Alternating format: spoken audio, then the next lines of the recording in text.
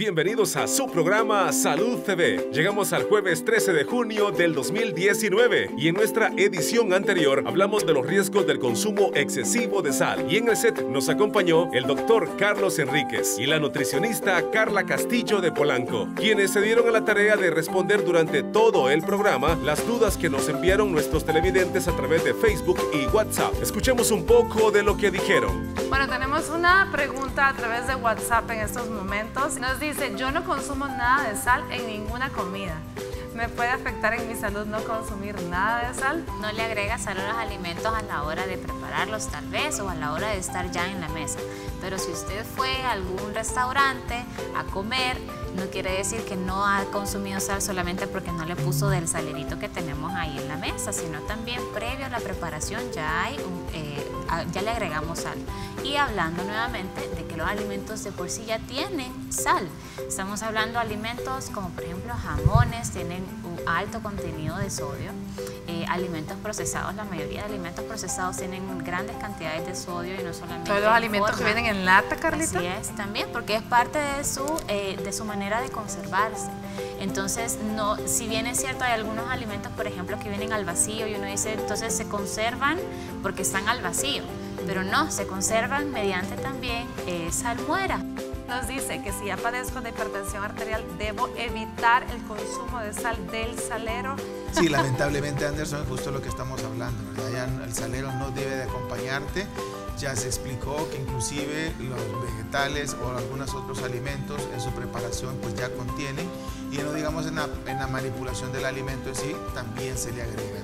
Eh, si es necesario los requerimientos de sodio dentro de lo normal, le hablábamos acá poniéndonos de acuerdo con la licenciada y es lo cuánto es lo que debe de tener. Habíamos hablado de los 5 gramos de sodio. Vamos a hacer la diferencia porque aquí hay una, hay una controversia. Una cosa es sodio y otra cosa es sal.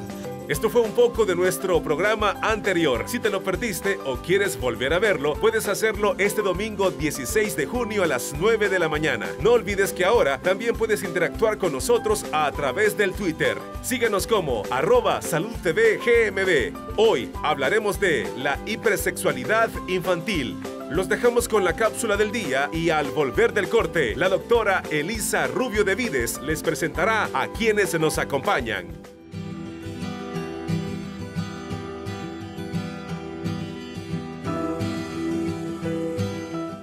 Hipersexualidad infantil es un fenómeno que se caracteriza por una sexualización cada vez más temprana en los niños, especialmente en las niñas.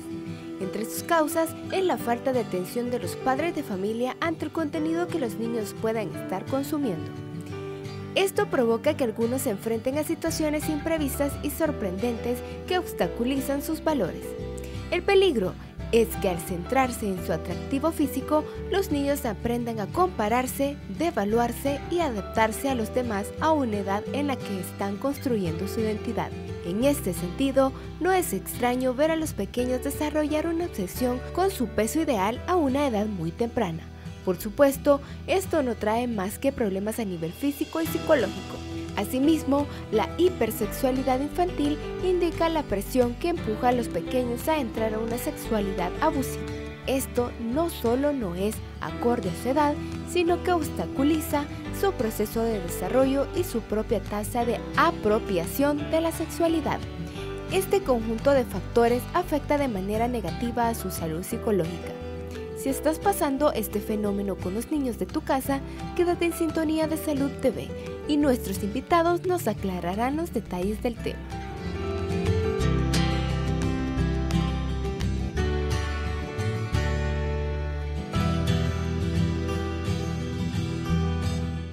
Estás viendo Salud TV.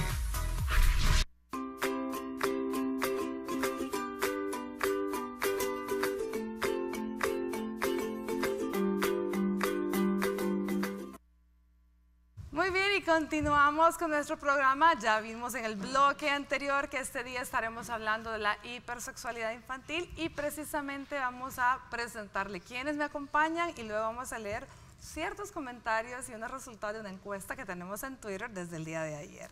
Bueno, nos visita, teníamos días de no tenerla por acá, teníamos a la doctora Susi Gámez, pediatra, que nos acompaña este día. ¿Qué tal, Susi? ¿Cómo estamos? Bien, gracias y gracias a ustedes por la invitación de este día. El placer es nuestro tener por acá. También nos enorgullece y nos encanta tener por acá a nuestro amigo nutricionista, licenciado Rodrigo Valdivieso. ¿Cómo estás, Rodrigo? Bienvenido. Bien, bien, doctora. Gracias por la invitación y a platicar con ustedes, ¿verdad? Este bonito tema y dejarlo, tratar de dejarlo bien claro. Excelente. Y por supuesto también a nuestra querida licenciada en psicología, Gabriela Herrera. ¿Qué tal, Gaby? ¿Cómo estamos? Hola, muy buenas tardes, muy bien. Gracias por la invitación, feliz provecho para las personas que ya están almorzando y pues esperando que el tema que toquemos ahora sea de mucha utilidad para todos nuestros televidentes. Excelente. Bueno, fíjense que el tema está muy interesante. Creo yo que es válido para todas las personas que nos ven, para los abuelitos, para los padres, para nosotros, para, los, para todos realmente, para aquellos futuros padres incluso. Definitivamente es un tema muy interesante y que hay que aprender mucho de él. Ahora bien, tenemos una encuesta, les mencionaba en Twitter, que se está eh, realizando desde el día de ayer y ahí tenemos. La, encuesta que, que pusimos fue, ¿permites a tus hijas pequeñas usar maquillaje en ocasiones especiales? Bueno, veamos cómo tenemos, fíjense bien, ya tenemos bastantes respuestas.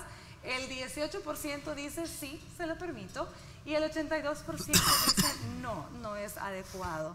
Necesito, por favor, que sigan participando, sigan votando para que podamos tener más opiniones suyas y también pues tenemos muchos comentarios que nos gustaría leer, que creo que son válidos escucharlos. Pero ahí tenemos a Remberto, quien dice que lo absurdo es que casi el 20% permite el uso de maquillaje en niñas y no me extraña que más de alguno lo permitiría hasta en niños. Muy bien, veamos el siguiente comentario. Wendy de Piñatas y Decoraciones nos dice, no, no está bien. Somos sus padres y debemos proteger y velar por la inocencia de sus mentes y corazoncitos porque disfruten sanamente cada una de sus fases de crecimiento. Son niñas que se vistan y luzcan como tal. Ya crecerán y entonces lo harán a su gusto. Gracias, Wendy. Erika Díaz nos dijo, yo promovería que en los salones de belleza fuera prohibido maquillar o hacerles alisados, planchados o pistoleados a niñas menores de 15 años. Miren, muy interesante. Gracias, Erika. Desafiando al tiempo nos dice, dejen en paz a los niños. De eso ahora llaman madurar, entre comillas. Déjenlos así como están, que al menos un tiempo disfruten de aquella edad. Gracias, desafiando el tiempo. Y Remberto nos vuelve a poner aquí otro comentario que dice, pintacaritas o uso de brillantinas es un juego, esto es infantil. Maquillar como mujer adulta a una niña debería estar regulado hasta por la ley Lepina así como también exponer a los niños a música sexualizada. Muchísimas gracias, Remberto. Nos encanta escuchar sus comentarios. Sigan participando en la encuesta, por favor, ahí la tenemos en saludtv.gmb en Twitter. Así que, por favor, eh, para que sigamos entendiendo todos sus comentarios y comprendiendo y aquí podamos seguir aportando con nuestros invitados. Bueno, pero ¿a qué nos referimos? Por si usted recién nos sintoniza, no sabe de qué estamos hablando este día hipersexualidad infantil. ¿A qué le llamamos una hipersexualidad, Gaby? Ok, eh, vamos a definirlo como un tipo de conducta que está arrebatando la infancia de los niños. Prácticamente esto se da más que todo en eh, las niñas, más o menos en una edad de 5 a 10 años, se está dando lo que es la hipersexualidad infantil. Vamos a mencionar un poquito ciertas de las cosas que ya se mencionaron al inicio. Y una de ellas es el uso del maquillaje en niñas, ¿verdad? Eso sí no es eh, considerado en buena forma dejar que una niña a veces los papás dicen, pero es que solo para que juegue, que está jugando a las casitas, por ejemplo, a que es mamá, entonces que la niña vaya como experimentando qué es lo que le va a tocar. A veces dicen más adelante, ya cuando la niña es adulta, que vaya experimentando. O sea, caemos un gran error dejar que las niñas empiecen a experimentar todo esto a una temprana edad. ¿Por qué? Porque no estamos dejando que la niña esté pasando por cada uno de sus etapas, del desarrollo en el que tiene que pasar como niña, en el que tiene que jugar, tiene que aprender sí los roles, pero de una forma más sana, ¿verdad? No ayudando a que la niña vaya creciendo y que la edad de ella no esté acorde al, crecimiento que con este tipo de juegos, que no son nada eh, favorables, la niña tenga que aprender. Muy bien. Susi, ¿de qué forma eh, exponemos a nuestros niños a una hipersexualidad? ¿A qué nos referimos? Ya nos dijo Gaby cuál es el concepto, realmente es algo, una situación que arrebata la infancia. Ya mencionamos el maquillaje. ¿Qué otras formas podemos ver de, de arrebatarle la infancia a través de una hipersexualidad o exponiéndolos a algo así? Lo que pasa es que también el niño tiene ciertas etapas de conducta, que estas etapas son normales en irse presentando. Entonces, tal vez aquí hay que aclarar también un punto. Está eh, una etapa que se llama el juego simbólico. El juego simbólico no hay que confundirlo con estas conductas como muy eh, precoces o adelantadas. Por ejemplo, el juego simbólico se comienza más o menos a dar entre los 3 a 5 años. Aquí el niño comienza a imitar muchas conductas de los adultos y casi siempre conductas que son de los padres o de las personas que lo cuidan. Dentro de estas conductas pues el niño comienza a imitar, eh, a darle de comer a su bebé, que es una mamá, que lo cuida, que va en su cochecito, que lo duerme, que empieza a imitar a la mamá, se pone sus tacones, trata de quererse imitar a la mamá en sí. Entonces, estas son partes de conductas normales, que no hay que confundirlas con una hipersexualidad. Con una hipersexualidad, ¿verdad? Entonces yo creo que eh, eso sí, porque hay papás que pueden decir, ay, pero mi hija está bien chiquita y se está poniendo los tacones de la mamá y que quiere quiere ponerse Pero son los tacones de la mamá que le quedan enormes y con los cuales anda jugando. No son los tacones de ella. O existen tacones que suponete los juegan que, que son princesas, ¿verdad? Entonces, que los usan momentáneamente en la casa para un juego. Diferente es que ella salga a la calle, que a sus reuniones, a sus piñatas o a las reuniones de adultos, pues lleven a la niña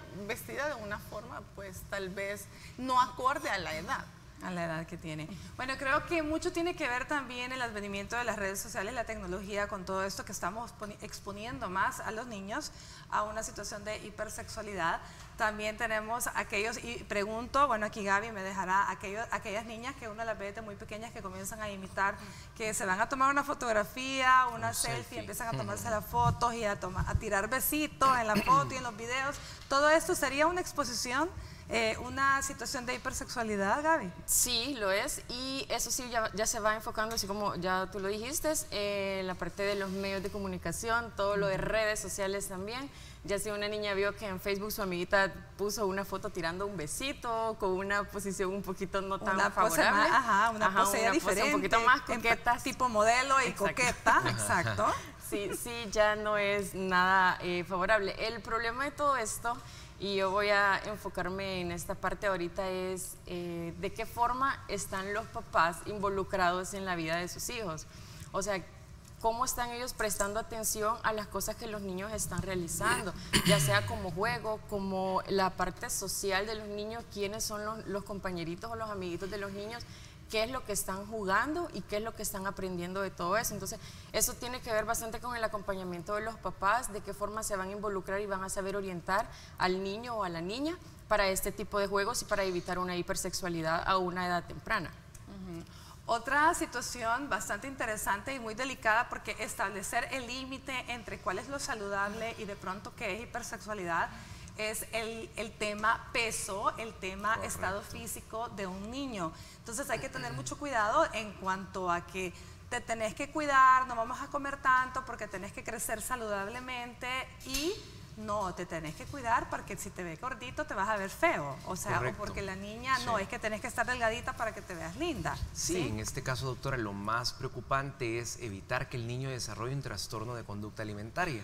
Porque hoy en día esto es parte y es una enfermedad y es real. Entonces, eh, empezar con este bullying de mensajes, también con el aprendizaje que tiene el menor en casa, sobre todo las niñas, em, sería exponerlos a los menores al desarrollo de un trastorno de conducta alimentaria que si bien podría ser una bulimia, podría ser una anorexia, que el niño empiece a asociar que comer está mal. Entonces, recibir siempre un mensaje negativo en cuanto estás gordito, no vas a crecer, o mira, te vas a parecer a tu papá si estás de esta forma, un mensaje negativo constantemente. Fíjese, eh, Rodrigo, que precisamente lo que tú estás hablando creo que respondería a una pregunta que tenemos en nuestro Twitter. Podemos verla, por favor. Eh, acá tenemos, eh, dice de Navarro, pregunta, ¿y en qué afecta? Bueno, pues gracias y le aprovecho para hacerles la solicitud a todos ustedes que están en sintonía con el programa que pueden hacer preguntas a través de nuestro Facebook o a través del WhatsApp o también ahí a través del Twitter. Ya tiene ahí todos los datos. El tema es hipersexualidad infantil. Volvemos al punto, ¿en qué afecta y por qué afecta? Eh, aquí sí todos somos adultos, ¿verdad? Y puede ser que esto ya no nos afecta, pero ¿por qué el problema los niños? Lo que pasa es que también aquí hay que poner eh, en, no sé si decirlo tal vez la palabra, en, tal vez no es el riesgo, sino que la niña o el niño puede estarse comportando de cierta forma como adelantado, pero el niño no está emocionalmente preparado para enfrentar ciertas respuestas de parte de, la sociedad. Entonces quizás ahí es el problema que, tal vez ciertas conductas eh, los niños no las hacen con esas intenciones, con un morbo, con, con un, eh, ¿qué le llamaría yo? Con un erotismo, con una forma de, querer llamar la atención de, otra persona. Pero eh, van a venir personas, adolescentes, adultos, eh, que sí ya las van a ir viendo por esa parte. Tal vez el niño no está ni psicológicamente ni emocionalmente preparado para eso, pues. Bueno, de hecho, yo creo que es una situación que muchas niñas, que a lo mejor, bueno, yo veo a Gabriela, veo a Susi, y yo me imagino, cuando fueron niñas eh, que estaban ya entrando a la pubertad, son niñas grandes. Son niñas que en algún momento tuvieron cuerpecitos de adolescentes con mentes de niñas muy pequeñas. ¿Cuántas veces no fueron objeto de aquella acoso por parte de, de, diferentes hombres en la calle o en diferentes lugares por el cuerpecito y ellas sin morbo, sin morbo alguno? Pregunto yo, entonces, claro, esto aporta a lo que tú estás diciendo, Susi, no están psicológicamente preparados para la respuesta, pero Gaby, tú ibas a aportar algo yo voy a aportar algo que lo que estaba diciendo la doctora, el desarrollo tiene que ver bastante con la forma de madurez del niño. Recordemos que la madurez, tanto personal como emocional, la vamos a ir formando a partir de las primeras etapas. Si la niña no está pasando por las etapas que tiene que pasar en su desarrollo, no vayamos a estar esperando papás, ¿verdad? Para esto a ellos, a los papás, que la niña tenga unos buenos resultados en cuanto a personalidad, en cuanto a autoestima, valores, aceptación personal y aceptación a la sociedad si nosotros no estamos aportando para la buena orientación y educación eh, e incrementación de valores en las niñas. Por eso es que de esta forma es que va a afectar realmente. Es un tema bastante delicado donde quizás los papás ni se deberían de estar como preguntando de qué forma afecta esto, porque es algo que a la larga va a afectar en la educación de la niña, del niño y también en la educación que los papás están dando, porque va a ser un poquito más complicado al llegar a la adolescencia poder tratar este tipo de problemas. Así es, es bien difícil comprenderlo cuando usted es papá de niños pequeños o usted aún no es papá, pero realmente se va a ver más adelante, como bien lo dice, en la adolescencia y juventud este tipo de problemas que puede desarrollar. Tenemos otro comentario y opinión en Twitter. Eh, recuerde que usted puede ahí aportarnos muchísima información. Nos dice eh, Jean Palma, la hipersexualidad empieza por los padres.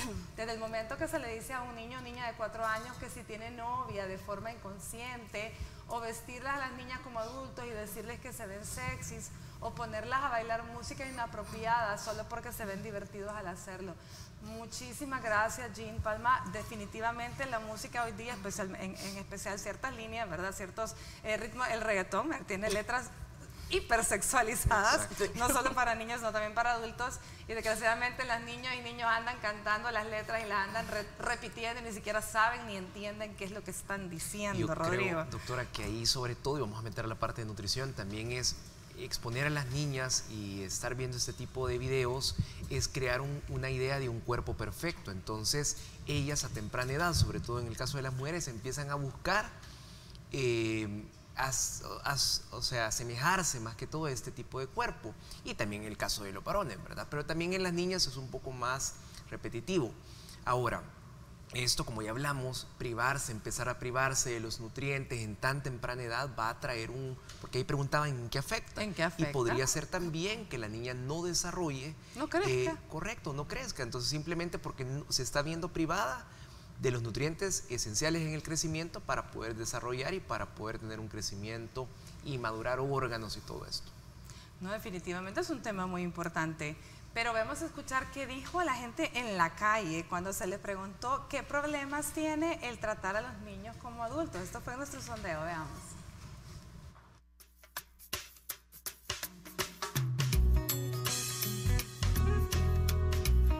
Porque para empezar, ellos tienen que crecer pensando de que de una forma infantil, ¿verdad? Y si usted viene y los está vistiendo como una persona adulta, entonces usted les está quitando su derecho a ser niños. Eh, tienen una idea distorsionada de lo que es de la niñez, porque le están adelantando su proceso.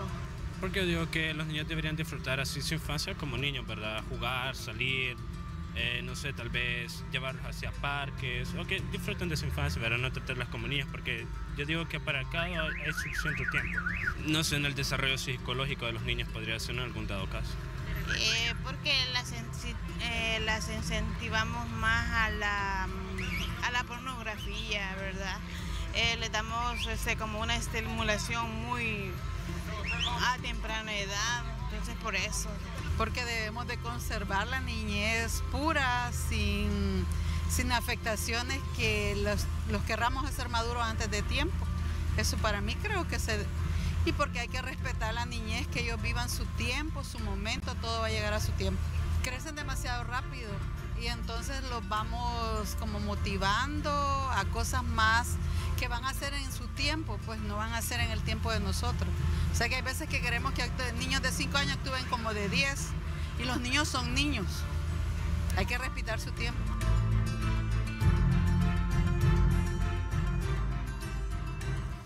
Muchísimas gracias a todas las personas que responden al sondeo y a escucharme las diferentes opiniones que nos encanta siempre tener. Ahora bien, tenemos una pregunta en WhatsApp que me parece muy interesante y que debemos responderla. Dice, buenas tardes, tengo un hijo de tres años con ocho meses y me preocupa porque él se masturba a veces. ¿Será esto normal? Le saluda Raquel. Raquelita, creo que tres años, ocho meses, a eso no se le llama masturbarse, se está conociendo, pero escuchemos a Susi y a Gaby que nos pueden decir. Yo creo que a esta edad, bueno, el niño desde... Desde el útero, desde, el vientre se toca. Y desde nueve meses, diez meses, a veces los niños se andan tocando su penecito y las mamás les andan quitando la mano, no se toque ahí, niño, no se toque. Realmente el niño está conociendo su cuerpo. El morbo se lo ponemos. Y probablemente el niño ya de tres años, tal vez por curiosidad se tocó su, su pene y, y, él sintió alguna sensación placentera y probablemente el niño por eso lo sigue haciendo, pero no lo hace por el hecho ya en sí de lo que significa la palabra masturbación, sino que simplemente él lo hace por curiosidad, porque sintió algo rico, se puede decir, pero sin ninguna mala intención, pues. Entonces...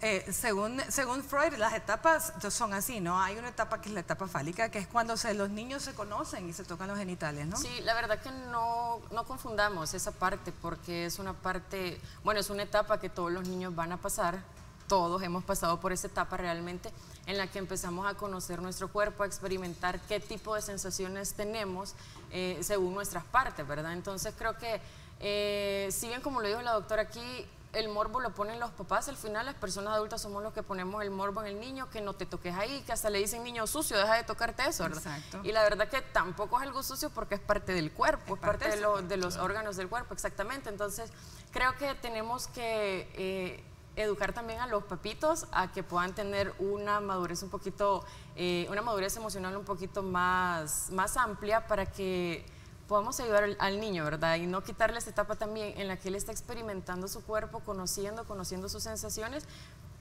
por decir que es algo de masturbación o que el niño no está teniendo una buena conducta.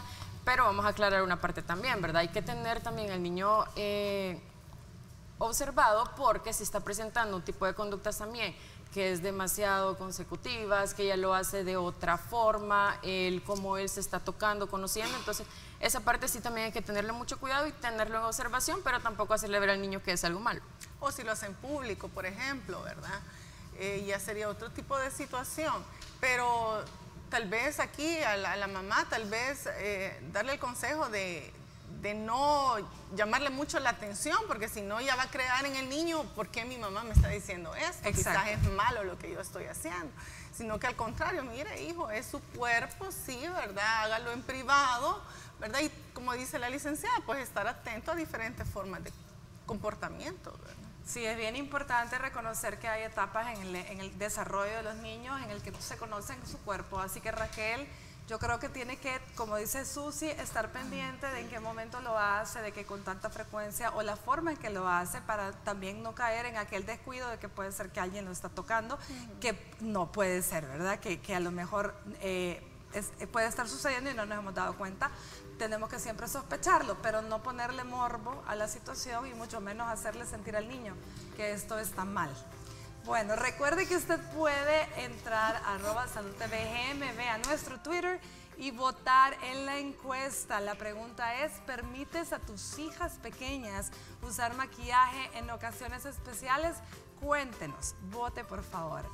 Ahora bien, hablando de maquillaje, ¿existirá algún problema al someter a nuestras niñas al uso de maquillaje tan pequeñas? Escuchemos a la doctora Raquel Lara de Granado, dermatóloga infantil, a ver qué nos dice.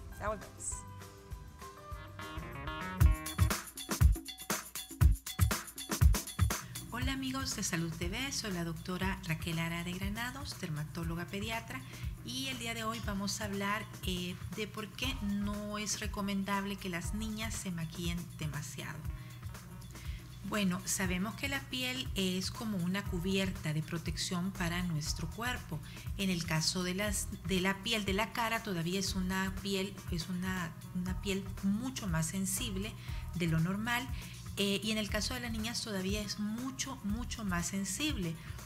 Tenemos poros que nos permite la transpiración de desechos tóxicos al exterior, pero también que nos pueden llegar a nuestro interior. Entonces, el exceso de maquillaje en nuestros niños o en las, niñas que están expuestas a eventos o a shows muy frecuentes puede causar desde dermatitis alérgicas, dermatitis por contacto, por los químicos o los con, lo que contienen este tipo de, materiales, hasta eh, infecciones, algún tipo de infección por parásitos o algunas bacterias. Entonces lo recomendable es evitar este tipo de productos y si es necesario que por algún evento la niña se tiene que maquillar, inmediatamente desmaquillarse para evitar ese tipo de, consecuencias. Los productos que buscamos en las niñas de preferencia tienen que ser hipoalergénicos y como les he mencionado, evitar que se mantenga mucho tiempo la piel expuesta a este tipo de productos. Mi recomendación es que si las niñas se van a exponer a ese tipo de maquillajes por eventos o por alguna situación que se requiera, eh, tratar de utilizar maquillajes muy suaves, eh, de buena calidad y lavarse o limpiarse o retirarse este maquillaje lo más pronto posible. Lo ideal sería un maquillaje hipoalergénico que no se exponga mucho tiempo a este maquillaje y pues tratar de mantener siempre la, piel muy limpia, lavarse la carita dos veces al día con, con jabones muy suaves y si es en el caso de los ojos, eh, utilizar aceititos para evitar que se esté friccionando eh, los ojos. Eh, bueno amigos de Salud TV, soy la doctora Raquel Lara de Granados, dermatóloga pediatra. Fue un gusto estar con ustedes.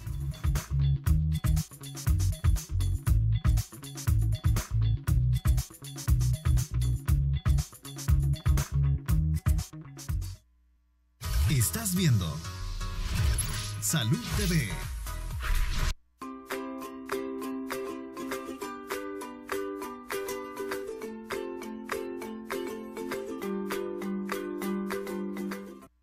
Continuamos con nuestro programa y como todos los jueves recuerden nuestra sección de primeros auxilios, pero desgraciadamente en esta ocasión el doctor Rodolfo Castro no nos pudo acompañar, pues se encuentra en Nicaragua impartiendo clases sobre salud ocupacional, pero nos envió un mensaje, veamos. Hola amigos de Salud TV, eh, tengan todos muy buenas tardes, es un placer inmenso estar compartiendo con ustedes. Doctora, buenas tardes. Eh, este día no voy a poder estar compartiendo con ustedes nuestra ya clásica sección de primeros auxilios. Sin embargo, eh, a través de las redes sociales vamos a estar subiendo lo que es la práctica de este día, vamos a estar hablando sobre una inmovilización y sin embargo, eh, lo que más me interesa es que si estamos en El Salvador, pues realmente no sé cómo está, si está lloviendo, si los sismos han continuado, pero recuerden siempre activar los sistemas de emergencia, ¿verdad? Tratemos de mantener lo que son las rutas de evacuaciones libres eh, ante cualquier circunstancia, conservar siempre los triángulos de vida, los botiquines, lo que son los bolsones de supervivencia. Y recuerden también de que en nuestra página de Salud TV están los números de emergencia que en algún momento se pueda consultar. Así es que saludos cordiales desde Nicaragua. Muy bien, bueno, saludito Rodolfo, muchísimas gracias. Pendientes de nuestras redes sociales porque ya por la tarde tendremos este video que nos ha preparado Rodolfo desde Nicaragua. Bueno, Ahora bien, recuerden, le hemos estado mencionando y pidiendo su ayuda. Tenemos un niño que necesita un trasplante de hígado. Recuerde que tenemos que salvar a Axel entre todo y podemos hacerlo. Lo vamos a lograr porque estamos a tiempo. Aquí tenemos gorras y camisetas. Si usted nos desea ayudar, las gorras a 8 dólares cada una, las camisetas a 6 dólares. Si usted quiere ayudar también, este domingo puede disfrutar en familia en una fiesta infantil que se llevará a cabo en las fuentes de Beethoven. Ahí habrá inflables, pintacaritas, payaso, así que puede disfrutar en familia y a la vez colaborar con esta causa tan noble como la es que tenemos que salvar a Axel. Recuerde, necesita un trasplante hepático. Así que hay muchísimas formas de ayudar a todos los que lleguen y colaboren. Se les entregará una medallita de héroe, entre otras. Así que a disfrutar en familia y a colaborar definitivamente es una situación muy dura, muy difícil que está viviendo la familia de Axel. Y hablando de situaciones difíciles, pues vamos a continuar con nuestros documentales de papás ejemplares. En esta ocasión vamos a conocer la historia de Joel de Jesús, padre de un niño con parálisis cerebral. Veamos.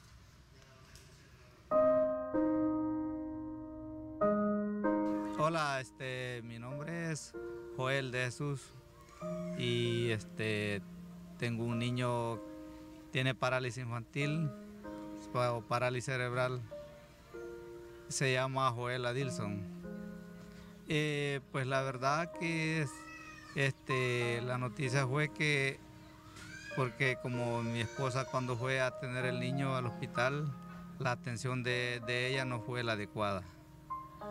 A raíz de eso, pues el niño este, le previno la enfermedad pues el niño cayó en la camilla, se golpeó y eh, a raíz de eso pues le previno la enfermedad que ahora tiene.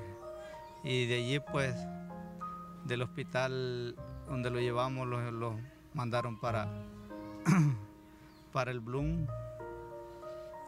Y en el Bloom este, le diagnosticaron la enfermedad que él tenía. Y este, de allí pues fue triste para mí, para ella, porque a pesar como estaba el niño grave, ya se quedaba unos minutos que ya no, él no respiraba. Fue duro para nosotros, como padre fue duro.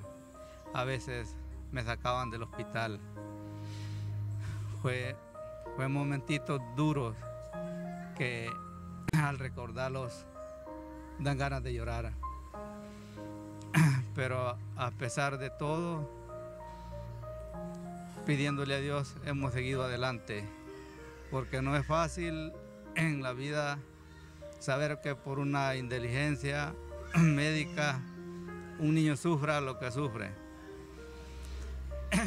Y le pido, o sea, le, les digo a todos los doctores que ven este,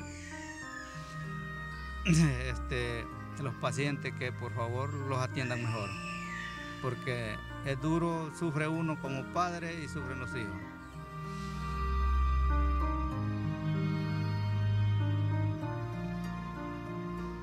Muy bien, bueno, ahí lo tienen. Recuerde que esta es la primera parte de esta historia ejemplar, de estas cápsulas y reportajes que estamos haciendo sobre papás ejemplares por el Día del Padre. Papás ejemplares hay muchos por ahí afuera. Estos son algunos de los que hemos tenido la oportunidad de conocer. Vámonos a una pausa, ya volvemos.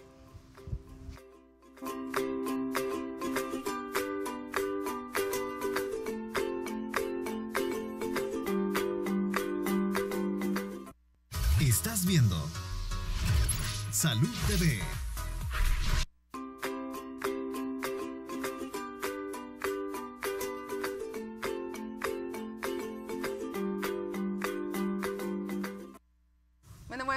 Provecho a usted que almuerza y gracias por permitirnos acompañarle. Este día estamos hablando de hipersexualidad en los niños y vamos a responder las preguntas que tenemos a través del WhatsApp.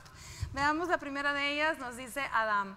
Buenas tardes, ¿pueden aclarar por favor qué es la estimulación temprana en niños y niños? Ok, completamente otra cosa. Vamos a ver, Susi, estimulación temprana es otra cosa. Sí, es otra cosa. Eh, pues la estimulación temprana es ayudarles a que los niños vayan desarrollando eh, todo lo que concierne a su motricidad fina, motricidad gruesa, em, su área cognitiva, o sea, irles ayudando a cómo ellos pueden ir desarrollando todas estas habilidades que eh, en unos niños pues eh, se retrasa por algún motivo, puede ser por prematurez o puede ser por algún otro tipo de problemitas, pero eh, esto les ayuda a los niños como irse desarrollando más rápidamente, conociendo o aprendiendo todo lo que ellos tienen, sus habilidades explotando todo ese potencial que cada niño trae, ¿verdad? Pero esto es una situación completamente diferente a lo que estamos hablando. Tenemos otro comentario también a través del WhatsApp. Nos dice Edwin, lo importante es criar a los hijos según su edad y lo más sano posible. Definitivamente así es. Muchísimas gracias, Edwin. No sé si quisiera comentar algo, Gaby, dependiendo de, hablando de esto, de dependiendo de la madurez de cada niño. Sí, claro. La verdad que, como yo lo mencionaba, todo eso va a venir de parte de los papás, ¿verdad? Eh, la doctora dijo al inicio algo muy interesante y mencionó la imitación. Todos los niños pues tienden a imitar a sus papás o a la persona mayor con la que estén conviviendo, ya sea su hermana, su hermano. Por lo tanto, el niño va a imitar todas las conductas y todo lo que haga. Entonces también eh, cuidado con esto. Prestemos atención en frente de los niños qué es lo que vamos a, a tener de actividades, qué es lo que vamos a hacer para poder evitar este tipo de conductas en ellos. Muy bien, pues fíjate, vamos a leer otro comentario que tenemos en WhatsApp, Gaby, que precisamente creo que menciona lo mismo. Nos dice, buenas tardes, pienso que una forma de hipersexualizar a los niños y niñas es no cuidarse al momento de tener intimidad con la pareja o cambiarse frente a ellos cuando ya tienen cierto entendimiento, pues despertamos la curiosidad de los niños. Esto nos lo dice Lisette. Muy bien, gracias Lisette. Ahora siempre se recomienda que en todo caso los niños se puede bañar con el papá porque puede de esa forma aprender, pero ¿hasta qué edad podemos hacer eso, Gaby? Eh, yo creo que ya a los cuatro años ya el niño ya se va fijando más. Ya a los cuatro años ya hay que tener cuidado y el niño se va... Recordemos que el niño ya, es, ya está casi pasando por su etapa de conocerse casi todo su cuerpecito, todas sus partes. Por lo tanto, ya va a saber identificar, ¿verdad? Cuáles son las partes de una mujer, de un hombre. Entonces, sí hay que tener un poquito más de cuidado eh, al momento de, como lo decían en el, en el, mensaje, de cambiarse, de tener intimidad y de ciertas actividades también que se van a realizar. Muy bien, así que mucho cuidado, ojo con eso. Tenemos otro comentario a través de Facebook Live en, este, en esta ocasión. Veamos qué nos dice. Tránsito Campos nos dice, tengo un sobrino que a la edad de dos años se, toca, se tocaba mucho. Ahorita tiene nueve y la mamá lo encontró en el baño como masturbándose. Muchísimas gracias, doña Tránsito. O sea, a los nueve años. Mm, creo que todavía no hemos entrado a la edad todavía para hablar de pubertad y de los cambios diferentes para estar hablando de masturbación, Susi, en un niño de nueve años, pero se está tocando mucho. Bueno, eh, a los nueve años ya estamos ya entrando, lo que es a la pubertad, ¿verdad? Em, pues igual habría que ver que con qué frecuencia también lo hace, ¿verdad? Acordémonos que eh, tal vez ya a esta edad hay más curiosidad, se juntan con niños más grandes, hay que ver, usan mucha tecnología hoy en día. El internet Entonces hay que tener un poquito ya como un poquito más de alarma, ¿verdad? Ver qué tipo de cosas también son las que eh, un jovencito ya de nueve años está viendo mucho en, computadora, en su celular, eh, con quienes se junta, ¿verdad? O sea, eh, puede ser normal hasta cierto punto, pues también, ¿verdad? Puede ser normal, pero sí tiene que estar alerta ya como ir poniendo atención qué es lo que el niño está viendo, con, quién, con qué personas se está juntando, porque hay niños de nueve años que les gusta andar ya con jóvenes de 15 de 15, 16 años. Entonces ya los intereses de alguien de 15, 16 años pues son muy diferentes a un niño de 9. Bueno, pero aquí yo quisiera eh, pedirle el apoyo también a Rodrigo porque hay algo muy importante y es el hecho de que a estas edades, bueno, a cualquier niño tienen tanta energía y el ocio es la madre de todos los vicios. Entonces realmente hay que tener a los niños ocupados, ¿no, Rodrigo? Correcto, y también hoy, hoy en día a veces cuando el niño ya no está en la escuela, empezamos a someterlo a que haga ejercicio fuera de casa o lo inscribimos en algún curso de verano. Pero la idea, como usted dice, doctor, es mantenerlo ocupado y quemando toda esa energía. También es bien importante revisar la dieta y ver en este caso si el niño tiene un consumo adecuado de azúcares, evitar las bebidas gaseosas, los jugos enlatados y todos aquellos productos, mucho menos el café, ¿verdad? Que el niño no está para tomar café.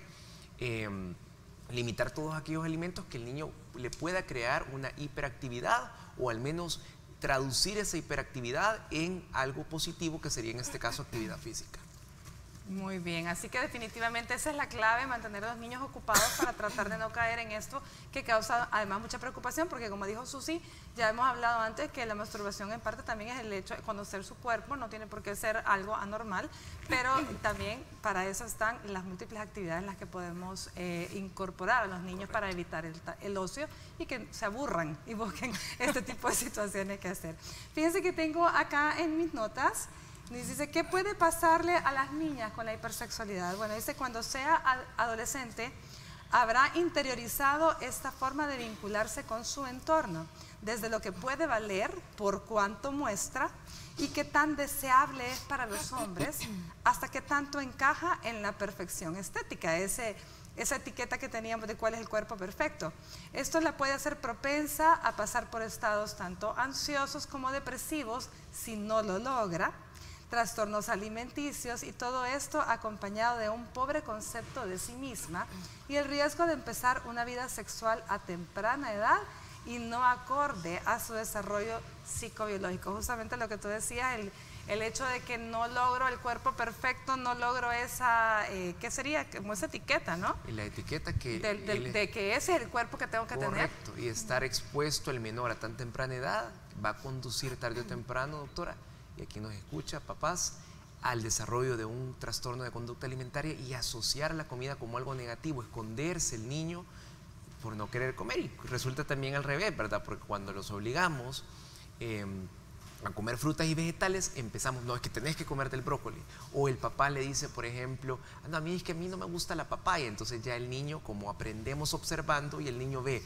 los hábitos en casa y eso va a traducirse a una mala relación del menor con el alimento y con su cuerpo. Y ahora, también hay otro punto eh, importante que estábamos, que tú mencionaste hace poquito. El desarrollo del niño, el niño está desarrollándose, su, su cuerpo se está desarrollando y cómo esto va a influir, por ejemplo, en las piernas de una niña, el uso de usar tacones, ¿verdad? Eh, si usa tacones a muy temprana edad, el pie deja de desarrollarse en las niñas a los 16 años. Entonces, si, usan, si comienzan a usar zapatos inadecuados a temprana edad, pues como eh, puede haber un acortamiento del tendón por el hecho de estar el pie inclinado, puede haber un acortamiento del tendón, eh, pueden haber varices a temprana edad, eh, el hecho de aparecimiento de juanetes, se deforman los dedos de los pies.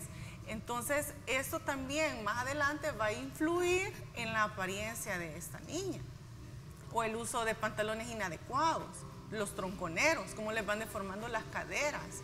Entonces todo eso también va a influir más adelante en la autoestima de la niña. El pobre autoconcepto, fíjense bien en lo que yo les leía en mis notas, el hecho de ver cuánto valgo según cuánto muestro, o sea, cuánta piel muestro.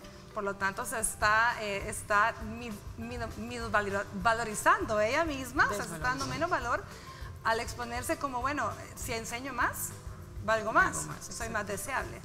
Bueno, antes de ir a corte, quiero que leamos la otra pregunta y la vamos a responder al volver. ¿Les parece? Nos dice, buenas tardes, estoy viendo el programa.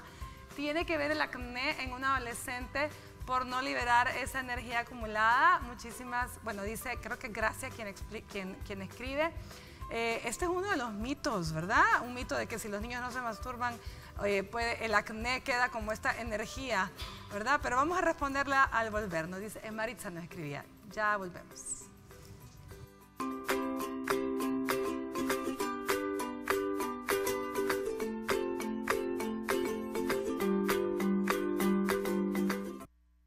Estás viendo Salud TV.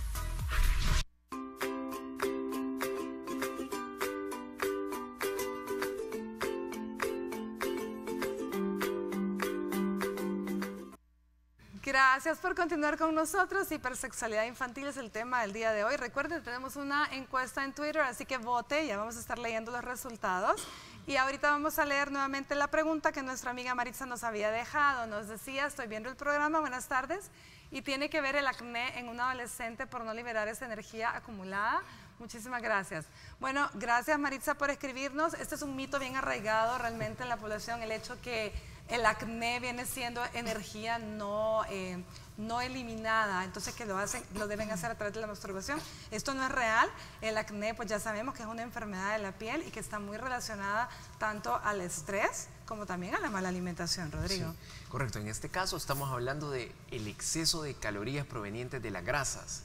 Es decir, a todo comer frituras, que el niño solamente pida nachos, eh, que coma papas fritas, que coma todos estos alimentos que, que sabemos que son altos en calorías, pero calorías, doctora, provenientes de las grasas específicamente. Entonces lo que hay que hacer Aparte es que son adolescentes, ¿no? Eh, eh, también están en un periodo en el que hay mayor, mayor trabajo en la glándula sebácea y por lo tanto tienen acné. Y a esto sumemos el uso del maquillaje, del maquillaje y más exagerado. Una niña adolescente de 15 años no necesita maquillarse.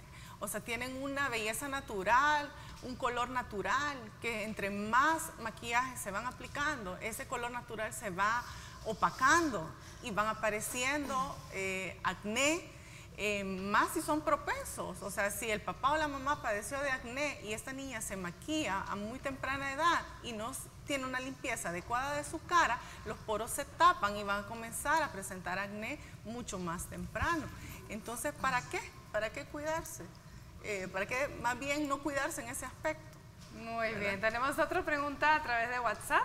Veamos en qué nos, nos comentan ahora. Dice, buenas tardes.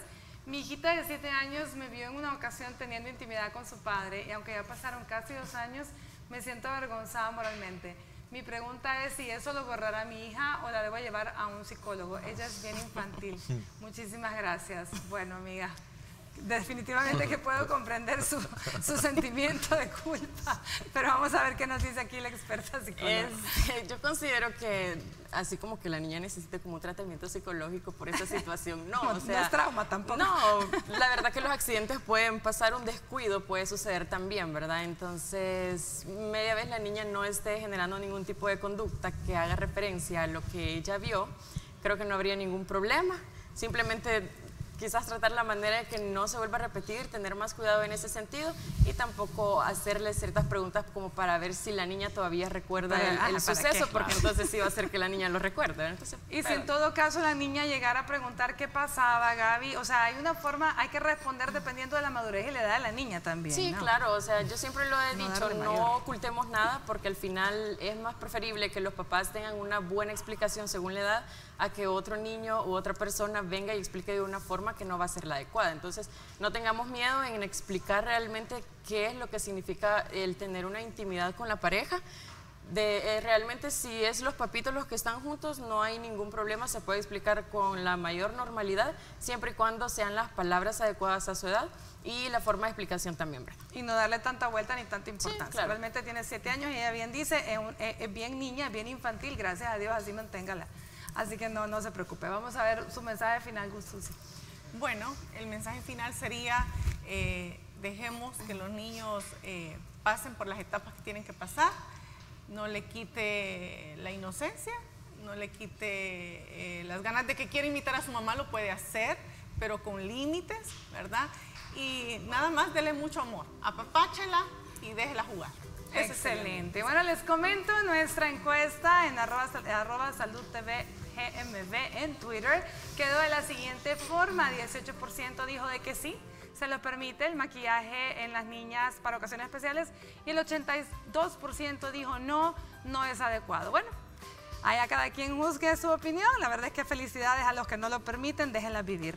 Muchísimas gracias a todos ustedes, gracias a todos los que interactuaron el día de mañana con un tema dedicado a las señoras, mujeres. Hablaremos del dolor pélvico crónico. Por hoy que tengan una linda tarde de jueves, que Dios los bendiga.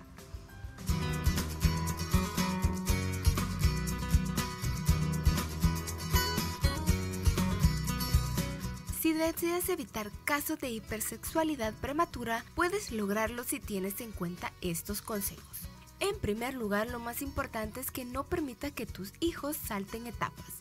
Esto significa que hay tiempo para todo y que deben llevar a cabo actividades y rutinas que sean propias a la edad. Hay que tener en cuenta que necesitas proteger a los niños de la omnipresencia del erotismo en todas las esferas de la vida cotidiana. Como siempre, es aconsejable que mantengas una buena comunicación con ellos para prevenir cualquier tipo de comportamiento inapropiado para su edad. También es importante que hables abiertamente sobre la sexualidad. Esto ayuda al pequeño a desarrollar su juicio crítico ante ciertos comportamientos o imágenes y anímalos a desarrollar intereses que aprecien sus valores, como el arte o el deporte, y en la escuela debe proporcionar códigos éticos en educación sexual.